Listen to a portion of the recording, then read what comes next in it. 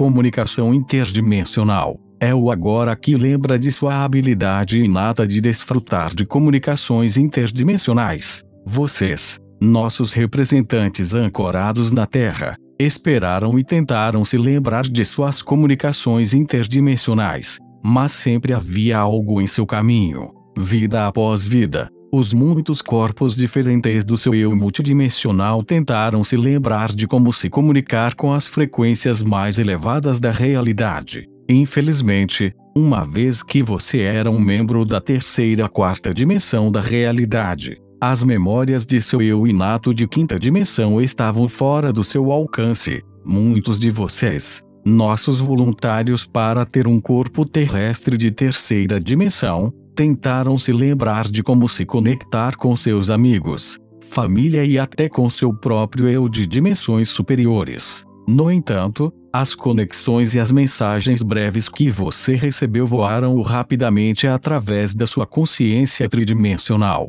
Foi somente quando você conseguiu ter o tempo da 3D para tentar traduzir uma mensagem interdimensional atemporal em uma mensagem da terceira dimensão ligada ao tempo, que você conseguiu se lembrar e até mesmo compartilhar essa mensagem com os outros. Você aprendeu a partir de encarnações anteriores na Terra que muitas vezes não era sábio compartilhar mensagens interdimensionais com outras pessoas, pois isso as deixava amedrontadas e irritadas. Em seu passado, a maioria dos humanos não sabia o que era uma dimensão, então esse termo não foi usado. Portanto, você usou termos que as pessoas poderiam aceitar, como sua criatividade inata. Se havia um mundo mais elevado, era geralmente conhecido como o céu, no qual apenas anjos e pessoas muito boas poderiam ir quando morriam. Naturalmente, Muitas civilizações acreditavam que poderiam ter uma vida e uma morte.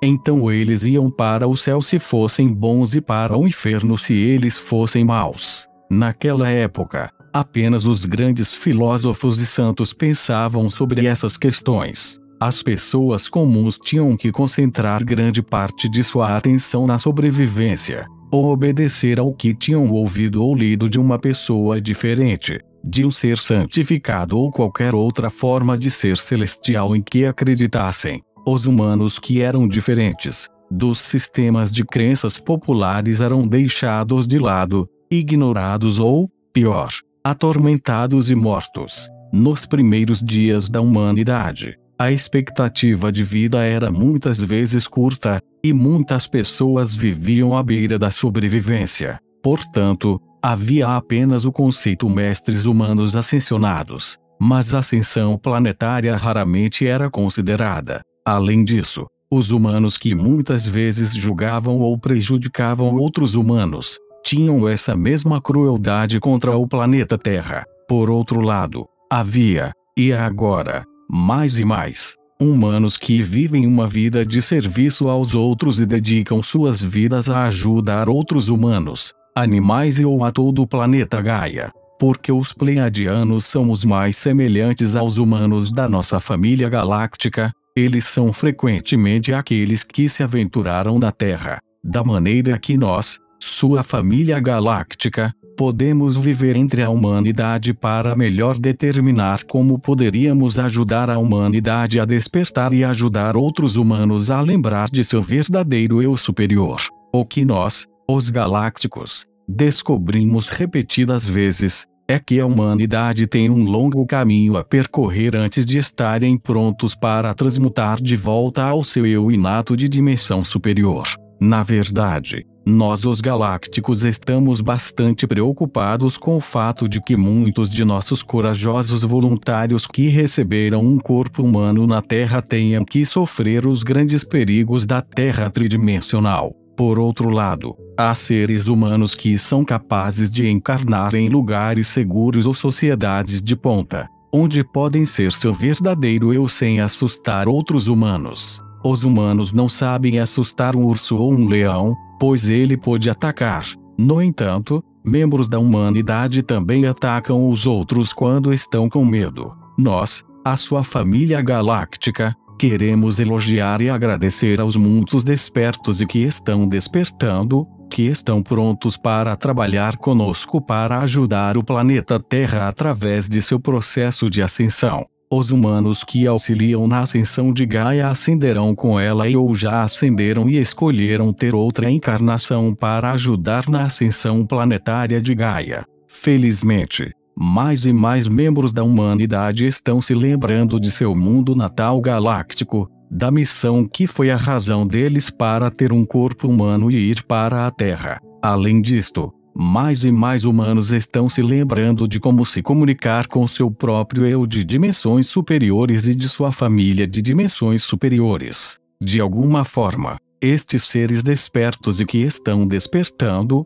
sabiam que a frequência da realidade que eles viam em sua mente, ouviam em suas comunicações superiores, e sentiam em suas consciências, e em seus corações, uniam-se ao seu próprio eu superior, assim como o eu superior dos outros durante seus sonhos e meditações. Eles frequentemente escreviam suas experiências no papel, no computador, cantavam-nas através de uma música e ou desenhavam imagens de suas experiências etc. Foi através dessas ações que suas experiências de dimensões mais elevadas pareceram reais e eles foram mais capazes de se lembrar delas. Pessoas diferentes se lembravam de coisas diferentes, mas, felizmente, muitos delas se lembraram do que prometeram que fariam para a ascensão de Gaia e por Gaia antes de entrarem em seu corpo terrestre de terceira dimensão. Felizmente, mais e mais humanos estão se lembrando de como se comunicar com os seres de dimensões superiores através de sua própria consciência de dimensão superior.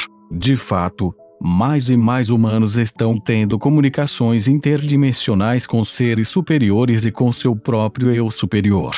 É através dessas comunicações interdimensionais que os humanos estão começando a se lembrar de suas próprias expressões do eu de dimensões superiores. Esses seres que estão ascensionando provavelmente incluem muitos de vocês. Muitos humanos despertos e que estão despertando podem parecer zangados ou aborrecidos com alguma coisa, e podem, ou não saber com o que estão zangados. Esse comportamento é comum quando um planeta está se preparando para mudar o sistema operacional desse planeta para incluir uma frequência mais elevada da realidade. Geralmente, estes estão entre os primeiros que se ofereceram para fazer a pesquisa sobre como uma realidade de quinta dimensão seria diferente de um planeta de terceira, quarta e ou terceira quarta dimensão. Seu planeta de terceira e quarta dimensão, conhecido como Gaia, ofereceu-se para ajudar os seres de sua realidade planetária a expandir seus estados de consciência de terceira e quarta dimensões para sua consciência de quinta dimensão nada mas muitas vezes não utilizada. De fato, mais e mais humanos dos ancorados na Terra estão optando por ativar conscientemente mais sinapses neurais em seus cérebros a fim de expandir seu pensamento, sentimento e consciência de volta à sua frequência de consciência inata de quinta dimensão. À medida que sua consciência se expande para além da consciência de sobrevivência de terceira dimensão, seu cérebro pode expandir mais facilmente sua capacidade de disparar componentes elétricos mais complicados de sua rede neural. É então que os voluntários da Terra se lembrarão mais e mais de suas encarnações passadas, dos downloads atuais de seu eu superior e das possíveis realidades futuras que parecem tão próximas e, no entanto, tão distantes. Gradualmente, os despertos lembrarão cada vez mais que a realidade é uma percepção. Portanto,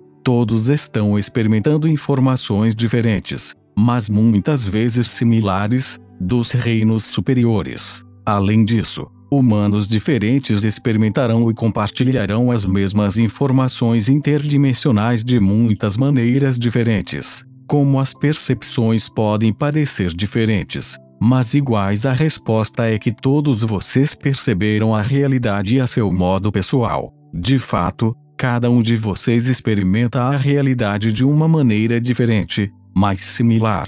Como muitos de vocês se conhecem quando vocês estão na nave ou em seu mundo natal, queremos lembrar aos nossos queridos voluntários para Gaia, que o amor incondicional é normal nas naves e nas dimensões mais elevadas da realidade. Esses mundos são completamente seguros. No entanto, você encontrou sua coragem interior para encarnar em uma realidade de terceira dimensão muito difícil e desafiadora, que está precisando de você para participar da ascensão planetária de Gaia. É por essa razão que escolhemos nos comunicar com vocês, nossos ancorados, sempre que possível. Então, cada um de vocês pode compartilhar suas experiências de deixar a quinta dimensão para encarnar no planeta da terceira e quarta dimensões de Gaia. Vocês, bravos guerreiros, escolheram ter um corpo terrestre humano para ajudar na ascensão de um planeta de terceira dimensão, poluído e muito maltratado, conhecido pelos humanos como a Terra. Na verdade, foi a própria Terra que está pedindo sua ajuda regularmente. Gaia está muito preocupada que os humanos da escuridão danifiquem tanto o seu corpo planetário que ela não seja capaz de ascender. Nós, os galácticos, Garantimos a Gaia que muitas dessas mudanças estão permitindo que as trevas venham à superfície para que possam ser curadas pela luz. De fato, alguns dos principais líderes de Gaia estão fazendo muito mais mal do que jamais foi feito por qualquer líder humano antes. A razão para isso é porque os seres da escuridão estão perdendo. Portanto, eles estão retirando todos os seus piores truques e táticas para manter os humanos assustados, subeducados, capazes de comprar rifles que podem matar muitas pessoas em apenas alguns momentos, e líderes que se importam apenas com eles mesmos e não com aqueles que eles estão supostamente liderando. Queridos humanos corajosos, por favor lembrem-se de que a noite mais escura é um pouco antes do amanhecer. Nós, os arcturianos, desejamos que pudéssemos lhes dizer exatamente quanto tempo levará para esta noite mais escura terminar. No entanto, o tempo é uma ilusão da terceira dimensão, portanto, não podemos lhes dizer quando essas mudanças começarão. Mas podemos dizer que é muito importante que aqueles que receberam a verdade compartilhem essa verdade com os outros que estão presos nas ilusões que foram propositadamente preparadas para impedir que a humanidade cumpra sua missão de ajudar Gaia em sua ascensão planetária. Uma das partes boas da terceira dimensão é a individualidade. Quando a individualidade, Muitas pessoas diferentes podem responder à mesma coisa de uma maneira diferente. No entanto, se o indivíduo não estiver conectado às suas fontes mais altas de informação, ele pode se tornar muito frustrado e deprimido pela luta para salvar a Terra, que ele simplesmente desiste. Não se esqueça de se lembrar do eu superior, multidimensional, e não se esqueça de que a realidade da Terra da terceira dimensão é uma percepção que muitas vezes é vista como diferente através da percepção de diferentes seres humanos. De fato, até o mesmo humano experimentará uma realidade diferente em um momento diferente. Sejam pacientes, nossos amados voluntários, para ajudar na ascensão de Gaia. Sabemos que muitos de vocês estão muito cansados, pois vocês percorreram este caminho por muitos anos. Agradecemos a sua resistência e o convidamos a nos visitar, assim como a sua própria expressão do eu da quinta dimensão, durante seus sonhos e meditações. Também pedimos que você compartilhe o que recebeu ou experimentou com outras pessoas que você acredita que possam aceitar essa frequência de informações. Nós aconselhamos que você olhe acima do chakra coronário daquela pessoa para ver, ouvir ou sentir se ela abriu o seu portal para a quinta dimensão. Algumas dessas pessoas podem estar totalmente conscientes dessa abertura, mas muitas outras ainda não entendem por que estão tendo tantos sonhos, meditações e experiências estranhas ou diferentes. Por favor, lembre-se que nós, sua família galáctica, Estamos sempre disponíveis para você e estamos prontos para ajudá-lo de qualquer maneira que você possa precisar.